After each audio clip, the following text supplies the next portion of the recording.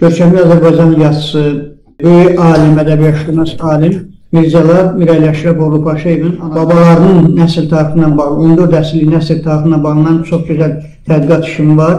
Bu e, iki hissədən ibarət kitab artıq işimizi görüb. Birinci kitabın İlahi Nurun e, demək təqdimatı 2018-ci ildə Müharibə İtinad Təşkilatının binasında oldu. Görkəmli alimlərin, yazıçıların, şairlərin iştirakı ilə. İkinci kitab Soy Ağacı kitabıdır. Bu da artıq hazırdır. Yəni Milli TV-də o e, verilişlər keçirilib onunla bağlı mənim müsahibələrim olub və o da yəqin ki, yaxın vaxtlarda onun da təqdimatı olacaq. Bir də nəzərinizə çatdırım ki, eyni zamanda o kitabda da o məsələ e, öz əksini tapıb. Görkəmli ərəbşünas alim, Azərbaycan ərəbşünas alimi Ayda xanım İmanquliyevanın babalarının nəsil tarixi ilə bağlı olaraq artıq kitabın çapı hazırlanır. Yəni Ayda xanım Yusif bəyin nəvəsidir. Onların e, babaları Yusif bəy 1895-ci ildə Kərbəladan Qubalını Balahəsənli kəndinə gəlib. Oradan da babası Yusif bəy e, demək gəlib Şamaxıya xidməti vəzifəsi ilə bağlı bir müddət orada işləyib.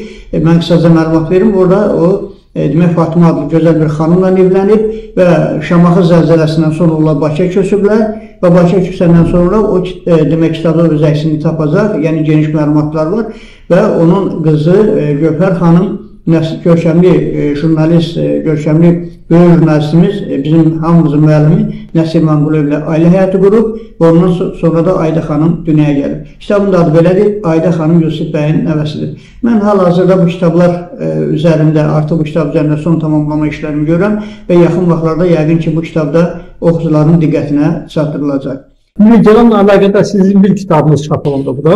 E, Mirzə Paşayev ilə bağlı mənim e, görkəmli yazımızın nəsl, babalarının nəsl tarixidir. 14 əsrlik tarixdir bu. Yəni mən bu tarixlə bağlı 5 il e, Cənubi Azərbaycanda elm hövzəsində tədqiqat iş apardım. E, bəli, bu kitab iki hissədən ibarətdir. Birinci hissə İlahi Nurlu, bu mənim poemamdır, lirik dramatik poemadır. İkinci hissə Soy Ağacı nəsr kitabıdır.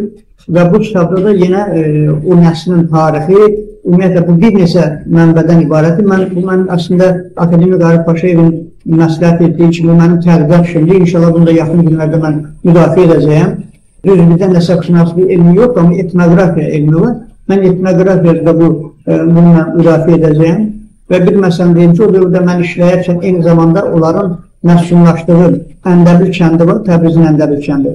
O kəndlə bağlı, kəndin ətrafı, kəndin özü ilə bağlı çox gözəl bir, mənim bir filmim də var. Ata yurdu məndədir. O film də çox gözəl filmdir. Bir film hələ heç yerdə yayınlanmayıb. Amma yaxın vaxtlarda biz yəqin ki, onda yayınlayacağıq.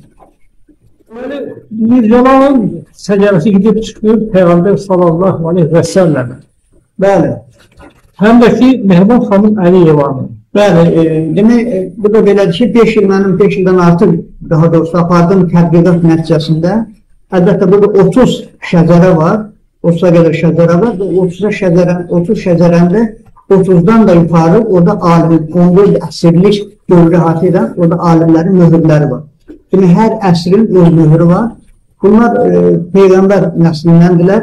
E, demək, 4-cü imam Əli İbn Hüseyin, Səccad ağa, Dimar ağa da deyilir. Bunlar həmən nəsildəndirlər.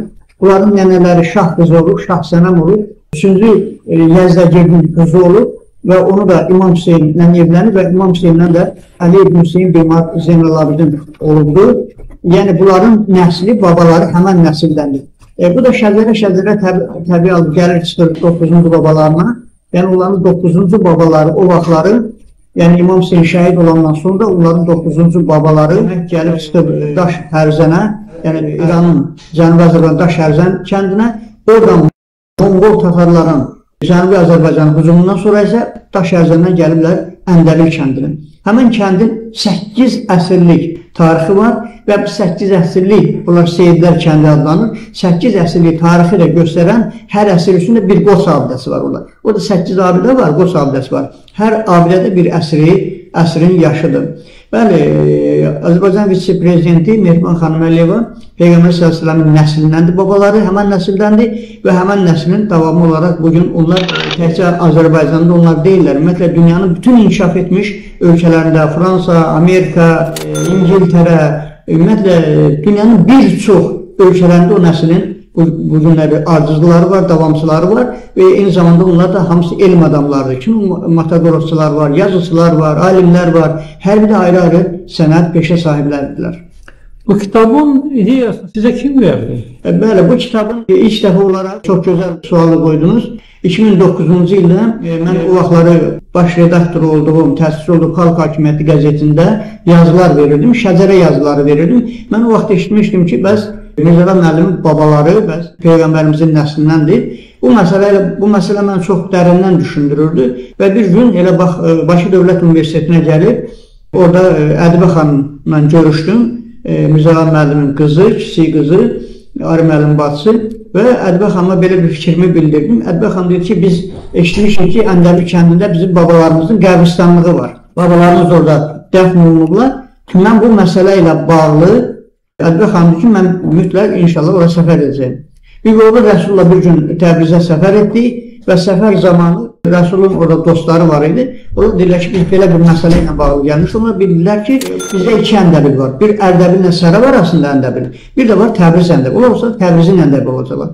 Onlar bizi maşınla Təbrizin Əndəbilini apardılar. Biz kəndə gedib çatarkən e, kənddən onlar Şurəvi deyirlər. Eşitdilər. Aha, Şurəvdən qonaqlar gəlib bizi qarşıladılar. Biz dedik ki, biz belə bir məqsəd üçün gəlmişik. Dedi, baba, düz gəlmişsiniz onların kəndidir və bizə bir evi göstərdi, bir məhəllə göstərdi. Dedi, bu Əliəşrəf Dərbəndidir.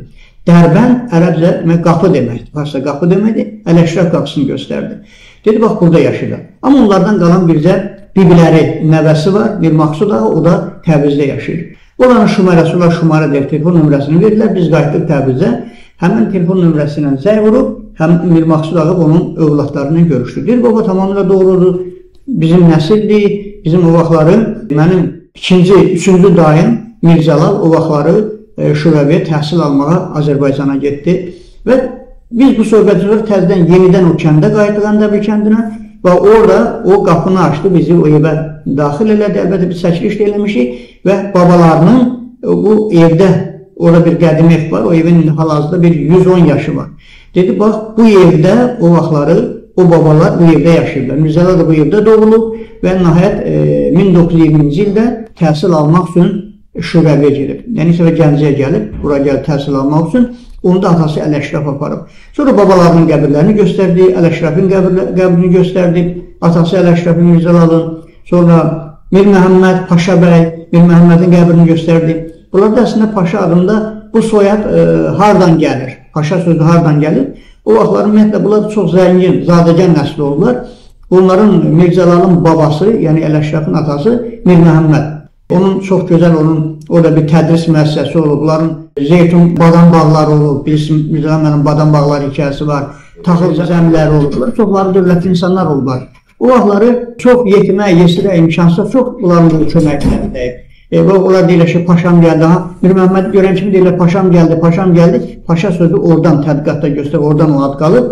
Və onlar o vaxtları ümumiyyətlə Əndəbil, Əndəbin ətrafı, şəbisləri orada bir az adam olanda, bir ə, e, az adamların siyasətini, yoxsulların siyasətini tutub, onları gecə ilə onun böyük qardaşlarından biri Mir Xəlil olur. Mir Xəlil 1963-cü ildə burada vəfat edib. Bura gəlib 60-cı, 63-də burada vəfat edib. Elə Mərdəkanda dəfn olunub. Mir Xəlil o vaxtları əlbəttə çox böyük xidmətləri olub Mir Xəlilin. Və o vaxtları o da qardaşı Mir Cəlillə yetim yesirlərin qarnını doyuzdururlar. Özə gecələr demək atları, buğdalar çəkilmişlər, un eləymişlər, gecələr atları yükləyib o aparıb yetim yesirlərə pay vermişlər. Onların bir təndiri var. Fatma ananın təndiri deyirlər. Yəni Mirzalın anası Fatma anan təndiri deyirlər. O təndirdə Fatma ana yemək çörəyi bişirərmiş, tənd e, çörəyin arasına pendiri yığarmış, yağ qoyarmış. Tədris müəssisəsində oxuyub gələnlər onları e, çantalarına yığarmış, onlar ac qalınmazmır. Yəni gedəndə yolda yeyərmişlər. Hətta o uşaqlar deyir, Amerika və digər ölkələrdə təhsil almağa gedəndə evə qayıdanda birinci gəlib o ocağı, Mir Əl-Əşraf ocağının, Mir Məhəmməd ocağını ziyarət edib evlərinə gedərmişlər. Yəni bu çox maraqlı bir kitabdır, maraqlı bir tədqiqat əsəridir, maraqlı bir tarixdir. Biz onu yayımlamışıq, mən xeyli yerlər və insanlar onu əldə edib və yenə yaxın vaxtlarda çap onu nəzərdə tutulur. Yəni bu, bu nəsil əhəmiyyətli bir tarixi var. Buna görə indi e, bunun bu günləri deyək, bu nəslin davamçısı birinci vitse-prezident Mehban xanımın gördüyü xeyirxah işlər, yetim yesirlər tutması, təhsildə oxuyanlara kömək etməsi, müalicələr insanları göndərməsi, əlbəttə bütün bunlar baba nəslindən gələn bir xeyirxahdır. Əslində elə onun anası da, Ayda xanım özü də, özünün də babaları 1895-ci ildə Kərbaladan Bala Həsəni, Qubadın Bala Həsənin kəndinə köçüb gəldi. Yəni hər iki nəsil demək müqəddəs nəsildəndir, müqəddəs e, insanlardan, e, insanların tarixini əhatə eləyir. Kitab üzərində neçə il işləmisiniz? Bəli, kitab üzərində mən 5 il tədqiqat işi apardım. E, yəni düz həm film çəkirdim, həm kitab üzərində işləyirdim. Yəni 5 il ərzində bu əsər üzərində, e, kitablar üzərində mən işlədim. Təbii halda Qum elm hövzəsində işlədim, Təbrizin ətraf kəndlərində tədqiqat işlərini apardım. Əlbəttə bu asan deyil bu tədqiqat işini görmək, amma nə qədər asan olmasa da o qədər çox maraqlı bir əsər idi. Əlbəttə mən bunu bir yolu bir rəsulla e, birlikdə e, bu işləri aparırdı. Onun dostları mənə çox kömək etdi. Mən onlara təşəkkürümü bildirirəm. Əlbəttə o şəcərələri yığmaq asan məsələ deyil. Biz o şəcərələri, yəni soy ağacının, nəslin soy ağacının şəcərələrini biz demək olar ki, kənd və kənd yığdıq. Sonra elm hövzəsindən əldə etdik. Bunları e, ayrı-ayrı qədim dövrdən qalan evlərə getdik, onlardan əldə etdik. Bunları əlbəttə əldə etmək o qədər də çətin deyildi, amma biz öz istəyimizə nail olduq və diqqətinizə çatdırım ki, o əsər e, çap olunarkən e, bizim dini, dövlət işlə məşğul dini e, qurumlar üzrə dövlət komitəsində o əlbəttə onun əl işləri ilə bağlı olaraq Yəni o şəcərələr bir daha diqqətlə nəzərdən keçirildi, oxundu, baxıldı və Allah rəhmət eləsin Akademik Vasım Məmmədəliyevi Vasım Məmmədəliyev əsər üzərində bir neçə il demək olar ki, hələ çapazlıq dövründə o e, şəcərələri bir daha oxudu, əsərlə bir daha tanış oldu. On, ondan sonra onun məsləhəti ilə biz o əsəri çap etdirdik. İrana gedib gəlmisiniz. Neçə dəfə gedib getdiniz? 5 e, il ərzində mən deyərdim ki, hesabasa hər hər il bir 3 il 4 il elə olurdu ki, mən İrana gedirdim. Çünki o şəhərləri toplamaq asan deyildi, tapmaq asan deyildi. 5 e, il ərzində hesablasanız bir 20 dəfə mən, e, mənim gediş-gəlişim olub. Yəni deyirəm, bu işdə mənə həm ailəmiz köməkli edib, qardaşlarım, bacılarım maddi yardım ediblər, köməkli ediblər. Yəni hər dəfə gedəndə bu böyük bir vəsait tələb olunurdu. Eyni zamanda digər qardaşlar da kömək ediblər mənə. Yəni biz bu nəticəni əldə etmək üçün təbii ki, hər dəfə e, getmək lazım idi. Təxminən deyə bilərsiniz nə qədər xərciniz çıxıb? E, Sirdə isə deyə bilərəm ki, yəni 5 il ərzində mən e, filmləri də nəzərə alsaq, bütün gediş-gəlişi nəzərə alsaq, təbii haldır ki, biz qalırdıq, elə olur ki, tutar ki, bir həftə qalası olurdu. E, bir 50 minə qədər mən xərc çəkdim o vaxtlar. Evet. Filmlərin də xərcini çəkmisiniz. Bəli, bəli. Filmlərin xərclərimiz oldu. Tehrana getdik biz, təbii haldır. Sonra biz Qum elm hövzəsinə getdik e, şər üstlərində oldu, daş ərzəmdə oldu, Təbrizin özündə oldu. Təbii halda bunlar böyük vəsait tələb edirdi e, və bunların da hamısını biz etdik, başa gətirdik. Eyni zamanda əlbəttə kitabların müəyyən yığımına vəsait lazım idi. Mən onun çap xərcinin hamısını təbii halda qardaşlarım kömək elədi, bacılarım kömək elədi. Onların köməyi ilə biz bunları əldə etdik. Amma qaldı kitabın e, geniş tərtibatla çapı məsələsinə də İlahi Nura Hacı Tofiq yardım etdi, sağ olsun, təşəkkür edirəm ona mümin qardaşdır və Soy Ağacı kitabı isə çox, yenə o da biraz ondan tirajı eyni tiraj idi, amma tərtibatında fərq çox idi, həm də səhifəsinə fərq çox idi. Ona da demək Hacı Yadullah onun bütün tərtibatına bir 30 minə qədər də Hacı Yadullah xərc etdi. Çünki o kitab e, Qızıl Suydu, Tivindi, Laxdı, Tavaşirdi, çox yüksək tərtibatlı bir kitabdır. Yəni biz onu ərsəyə gətirdik. İnşallah yaxın vaxtlarda da Ayda xanımın Yusuf bəyin nəvəsi adlı kitabı çapa inşallah hazırlayıram və eyni zamanda bir məsələdə diqqətinizə çatdırım ki, Mirzə Ömərin böyük qardaşı Mir Xəlil demək 1945-46-cı illərdə Cənubi Azərbaycan Pişəvəri hökuməti var idi. O dövrdə fərmandar vəzifəsində işləyib, yəni Şəbistlərdən demək Təbriz, Şəbistləri, Zulfiyə qədər fərmandar olub. Yəni o da onun vəzifəsi idi, özü də polkovnik olub. Onun da həyatı ilə bağlı olaraq e, çox gözəl e, bir əsəri artıq tamamlamaq üzrəyim e, və bunu da onun oğlu Ələddin ağa bilir. Hətta Akademik Arif Paşayev özü də bilir ki, əmsi haqqında çox gözəl bir əsər hazırlayıram. Kitab hazır olandan sonra onun çapı üçün sponsor axtarmısınız. Hətta ümumi tanışımız məndən xahiş edib ki, mən sponsor axtarım. Mən də bir iki nəfərə ağız daşmışam. Amma şükürlər olsun ki, sonralar Bəli, E, ümumiyyətlə, mənim e, belə bir xüsusiyyətim var. Mən heç vaxt ki, e, kitab hazırdır, gedəm kiməsə deyəm ki, bəs filan kəs haqqında kitab hazırlayıram, mənə yardım edin, kömək edin. Yox, mən qardaşlara müraciət etmişəm, ta ki, e, namaz qardaşlarına müraciət etmişəm, onların köməkliyi dəyim mənə. Ondan sonra öz qardaşlarıma demişəm, düzdür, qardaşlarımızın, qardaşlarımın da elə böyük imkanları yoxdur, amma indi nəyəsə imkanları daxilində onlar da kömək ediblər. Biz dörd qardaş, altı bacıyıq. Bacılarım kömək edib, qardaşlarım kömək edib, Elşən, Eldəniz, Cavanşir, e, köməkli eləyiblər. Sənvər bacım, Lətvə bacım, Həqiqət bacım, Dilbər bacım, Gülşən bacım. Bunlar köməkli eləyiblər. Nədinə bacım kömək eləyiblər. Biz e, o kitabın xeyli müəyyən o çapa hazırlıq mərhələsinə qədər onlar da kömək ediblər. Bu işləri biz başa gətirib çatdıra bilmişik və kitab çox uğurla, yəni birinci kitabın təqdimatı oldu qeyd etdiyimiz kimi, ikinci kitabında yəqin ki, inşallah yaxın vaxtlarda təqdimatı olacaq. Kitabda nədir qonorarınız oldu? Sil deyilsə deyə bilərsiniz? Ə, ümumiyyətlə mənim o kitabdan belədir. Mən istər birinci kitab olsun, istər ikinci kitab olsun, istər poema olsun, istərsə də soyağacı nəsr kitabı olsun. E, mən o kitabları hədiyyə eləmişəm Azərbaycan xalqına, Mehriban xanım sevərlərə, Mirzəlal, Mirzəlal Paşayevi sevərlərə, Arif müəllim akademik Paşayevi sevərlərə. Mən onu hədiyyə eləmişəm. İstər dövlət səviyyəsində nazirlər olsun, istər ayrı-ayrı adamlar olsun. Olub, yəni belə olub ki, tutaq ki, onların içərisində demişəm, hədiyyə gətirmişəm. E, bir dəqiqə görürsən deyib, bir dəqiqə xahiş edirəm, gözləyin. Hədiyyə gətirmişsə çox sağ olun, təşəkkür edib, amma sizin zəhmətiniz haqqı var. Olur, 50 martda verirəm. Bu olub bir ümumilikdə görsün bir 10 nəfər, 20 nəfər. Belə ən uzağı olsa olub. Qalanımsız aldılar hədiyyə göndərmişəm, dövlət deyirəm, deputatlar olub, nazirlər olub, ta ki, Daxili İşlər Naziri, Baş Prokuror, Təhlükəsizlik və s. ta ki, Ali Məhkəmə, bütün distansiyaları mən bu kitabları yayımlamışam və təmannasız yayımlamışam və bu işlərdə mən təmannasız həyata keçirmişəm. Hətta 2003-cü ildə prezident seçkilərində, Cənab İlham Əliyevin iş prezident seçkilərində mən Yeni Azərbaycan Partiyasının tapşırığı ilə, məsləhəti ilə professor tarix elmləri doktor Yaqub müəllimin e, rəyi ilə mən diplomatiyadan siyasi olimpiya qədər yol, bu yol İlham Əliyevin yoludur adlı təbliğatı kitabın artıq onun 20 ili tamam olur, işıq yüzü gördü. Açığın deyim, o kitabda yəni Azərbaycanda yaşayan az sayılı xalqlar, eyni zamanda ümumiyyətlə müxtəlif xalqlar nümayəndələrinin e, fikirləri var orada. Əlbəttə bunları mən özüm işləmişəm, onların fikirlərini deyiblər işləmişəm və onlar yalnız Azərbaycanın yeganə e, bundan sonra idarə edə biləcək İlham Əliyevin olmasının fikirləri orada bildiriblər və bunu, bunu mən hazırlayıb o kitabı ərsəyə gətirdim mintirajla 2003-cü ildə. E, orada təbriklər var və eyni zamanda qeyd edim ki, bu kitabı da mən bacılarımın, qardaşlarımın düzdür, böyük, böyük bir məbləğ olmadı, 1300 manat elədi. O 1300 manatı mən onların köməkliyi ilə bir də o vaxtları bir e, Aydın Həsənov var idi, Allah rəhmət eləsin, çağırış məntəqəsində, onu da yazsın vermiş. Bir də Aydın müəllim o kitaba müəyyən qədər köməklik elədi.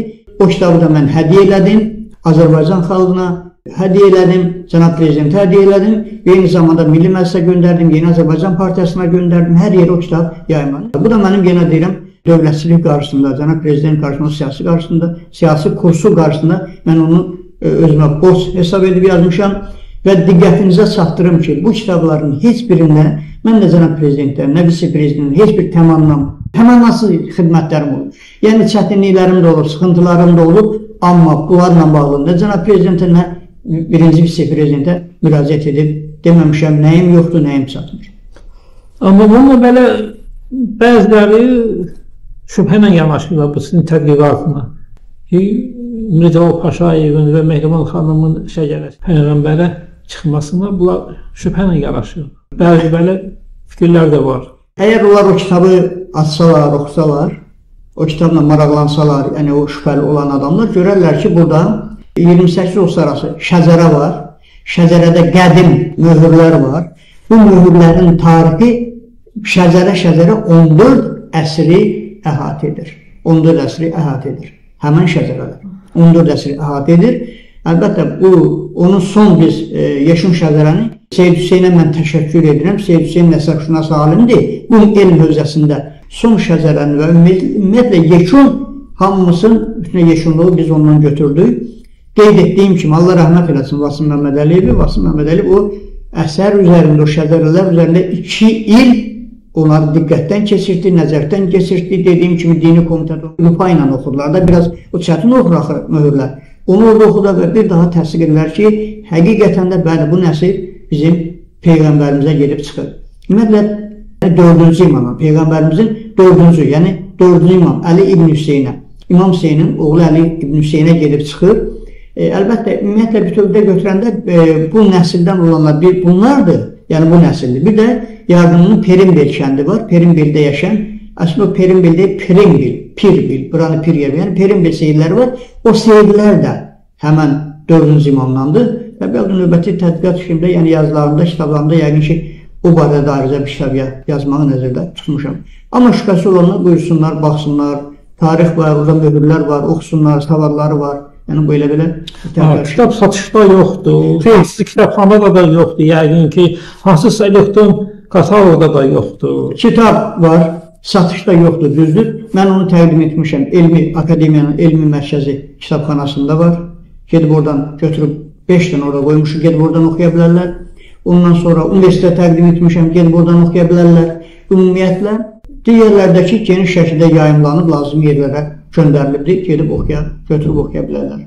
Xüsusən Elmlər Akademiyasının universitetin yanında Şüşəli kitabxanası var. Orada oxu zalına girib o kitabları götürüb orada baxıb oxuya bilərlər. Elektron variantı qoyulmayıb da internetə. E, yox, elektron variantı internetə qoyulmayıbdı. İndi qərara gəlmişəm ki, onu eləyərik inşallah. Sizinlə birlikdə eləyərik onu inşallah. İnşallah.